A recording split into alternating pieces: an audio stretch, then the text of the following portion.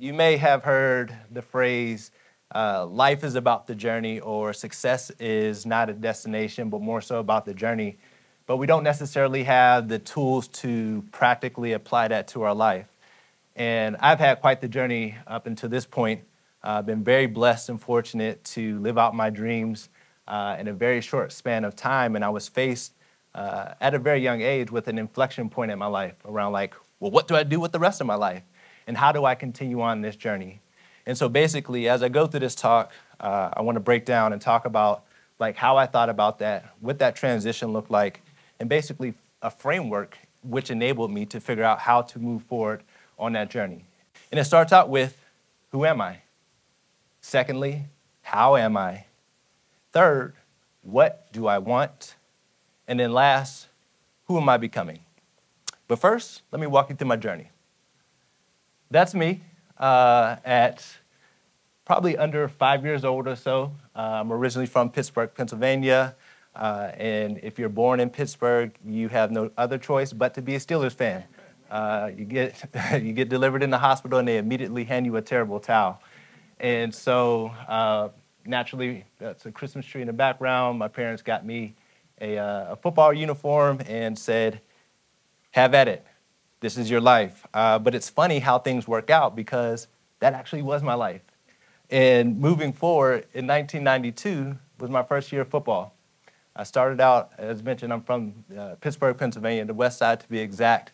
Uh, and started playing football at the age of seven in 1992. Uh, so I'm dating myself a little bit, but it's all good. As I matriculated throughout my football career, uh, I had a lot of success. Uh, was a high school All-American, uh, put up a lot of records at my high school. We had a lot of success as a team. Uh, we only lost three games in high school. And then I carried on to the University of Michigan, uh, where I was a two-year starter. Uh, you know, we won Big Ten championships. I went to three Rose Bowls, uh, but unfortunately, I lost all three. So, you know, the good and bad there. but then I had a fifth year of college, and I went to West Virginia University. and uh, that year we went and played in the Fiesta Bowl, and I finally won a bowl game, my last try uh, in college, and so was really thankful for that. But then the story gets better. Um, you know, I'm finishing up my collegiate career, and then every childhood dream back, if you remember back to the previous slide or two previous slides uh, where I had the Steeler outfit on, uh, my dream became a reality, and I became a real Pittsburgh Steeler. Uh, thank you. Thank you, thank you. Uh, and in 2008, uh, in the sixth round, uh, with the 194th pick, uh, got to remember those numbers. It's very, very important, uh, especially top of mind with the draft being last week. Uh, but with the 194th pick of the 2008 draft, I was selected by my hometown team, the Pittsburgh Steelers. and that was a very surreal moment for me because a few years after that picture was taken with me in front of the Christmas tree, I was literally a little kid walking around Three River Stadium uh, asking tailgaters uh, for a dollar to support my, my youth football organization. We would literally go up to them and say, like, would you like to be a booster for our organization? And they would give us a dollar, and we would just give them a piece of paper. Uh, not even a candy bar. You may see some of the kids handing out candy bars. We didn't even give them that. We just gave them a piece of paper and said thank you. Uh, so, you know, I came a really long way. Uh, but that rookie season, uh, I actually won a Super Bowl with my hometown team. And so when we talk about like that journey, uh, it was very empowering and very surreal, but ultimately having the ability to live out my lifelong dream in front of my family, my friends, and everybody who helped me get to that point uh, was truly a blessing. It didn't stop there. Uh, I actually came here to New York in 2013, and I played one season with the, one season with the Giants. Very forgettable year. Uh, we were not very good, uh, but I did enjoy my time here in the city. And then I wrapped up my career in Chicago, uh, still currently reside in Chicago with the Bears, 2014 and 2015. Uh, again, very forgettable seasons. And so basically, I started my career uh, in Pittsburgh with my hometown team uh, at the highest of highs and then progressively got worse as we move forward. So talk about a journey, right? Uh, when I wrapped up my career after NFL career after eight seasons, uh, and unfortunately, my career was cut short because I had a back injury. I said, What now? It happened like that. And just like that, I was done.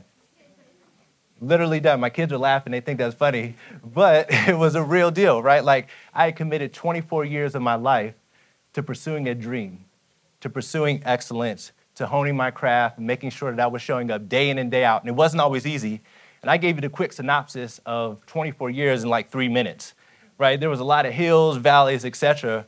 But I was faced at the age of 31 with a bad back and hurt feelings because no one really leaves the NFL on their own saying like bye bye. Like they say your services are no longer welcome here, right? And then they say carry on and kick you out the building.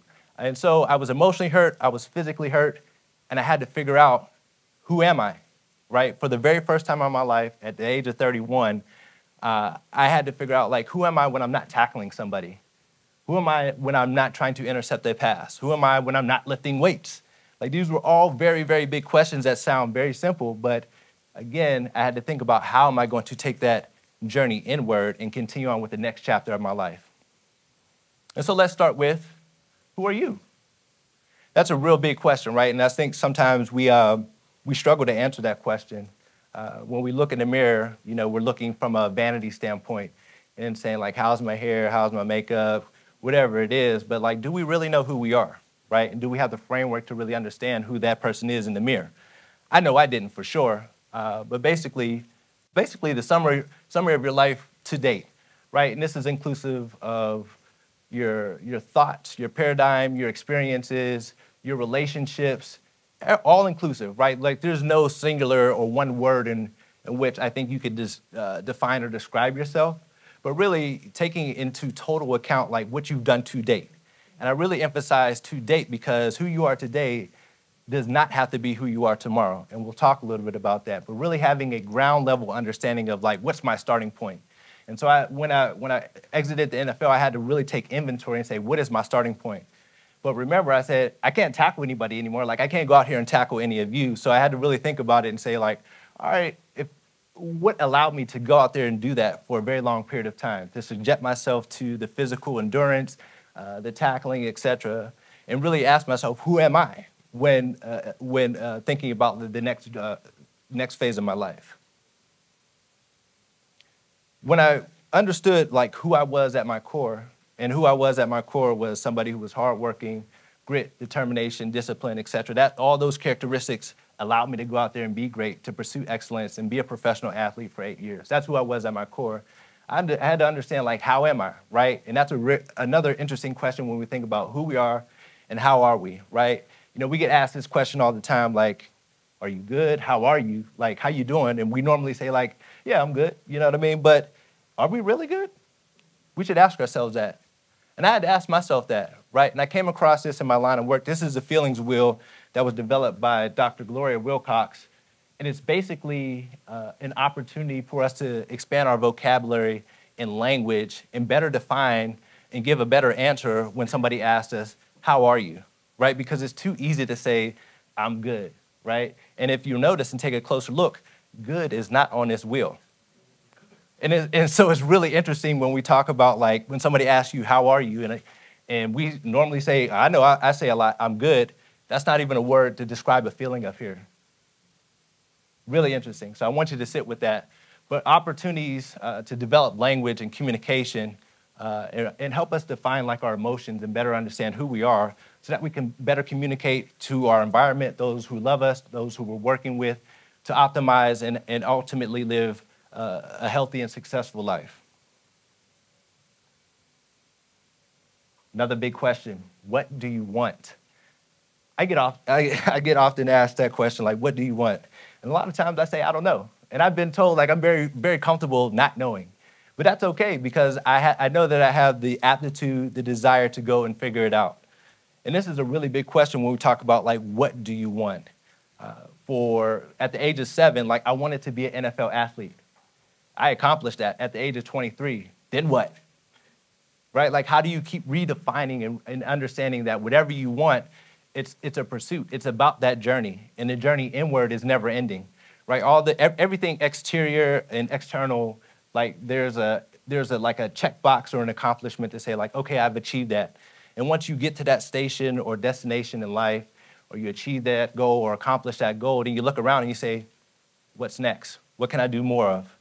What is my next opportunity to pursue? And so the mindset that I've adapted is that like it's a continuous journey. No matter what I accumulate, no matter what I acquire, I'm on this continuous journey inward to continue to figure myself out uh, and learn about like myself, the world around me, and how I can help others. And so this question around like what do you want is really, really important to me. And ultimately, you know, I draw a lot of inspiration from the book The Alchemist. I named my company Alkeme. Uh, but basically, you know, this quote very it stuck out to me the first time that I read the book. Uh, and it goes as such. When, and when you want something, all the universe conspires in helping you achieve it. And that's from, again from the book The Alchemist. And I truly believe that, right? Like what is our heart, what is our truest heart's desire? Like what do we want uh, you know, to, to accomplish in this life? We only get one shot right? And so, like, how are we identifying that and maximizing every day in pursuit of that greater goal? Uh, and, and it, it, doesn't have to be something, again, that's materialistic. I think about it and I say, all right, well, I'm very conceptual by nature. Like, what do I want? And there's two things that I want out of life I want to be healthy and I want to be inspired. If I'm healthy and I'm inspired, then everything else falls into place. I have the opportunity to go out there and develop skill. I have the opportunity to go out there and develop relationships because I'm healthy and I'm inspired and I'm motivated to go out there and serve. Always accurate, occasionally precise. Now, when I brought up that question around, like, what do you want? You're like, damn, what do I want? I don't know. The reality is, and this is a secret, we're all figuring it out. Everybody acts like they got their stuff together or externally, but man, like if you peek behind the curtain, you would see that, like, man, I'm figuring it out just like you, or just like you, right? And so th- I think that's a really important thing for us to, to acknowledge is that we don't always have it figure, figured out. And that's why I said earlier around like I'm comfortable not knowing or I'm comfortable not fi- having it all figured out because I'm generally always going to be accurate. I'm going to be in a ballpark, right? And we'll get closer to that point of precision. Uh, but you know, the reality is we don't always have all the answers, and we have to be comfortable with that. And so again, thinking about how, to, how can we be accurate and occasionally precise? There's no, you know, like data-driven approach to life or living. And I don't even know if I would want that, to be honest with you. Life is about art. Life is about feeling. Life is about emotion, right? A lot of things that we have planned for our lives to say, like, we look back, like, oh, did it did that go the way that I exactly planned it?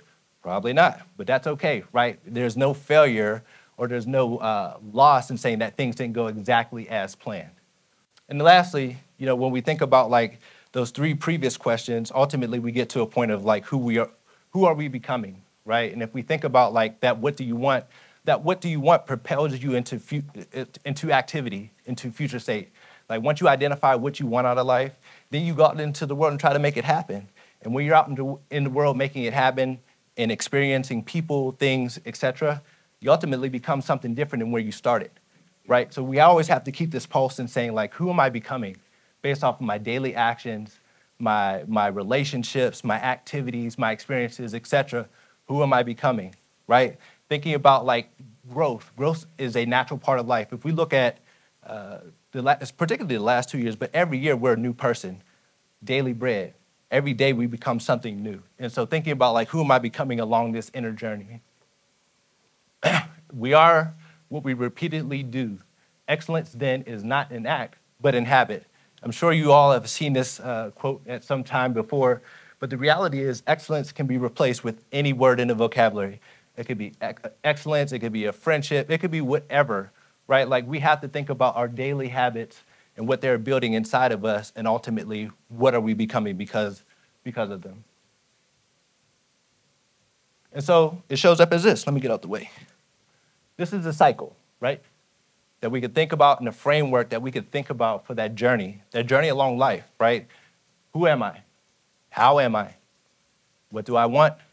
What am I becoming? It's a cycle. Once we get to that what am I becoming point, then we ultimately get to a place where this is who I am, right? And so we start that cycle over and over again. And so that's the part, and that's the beauty in it, right? And you don't have, and that's why I say you don't have to be that person that you are today, tomorrow, right? Every day is a new opportunity. Every, every month is a new opportunity. Every year is a new opportunity to continue to grow, develop, and build the life that you want.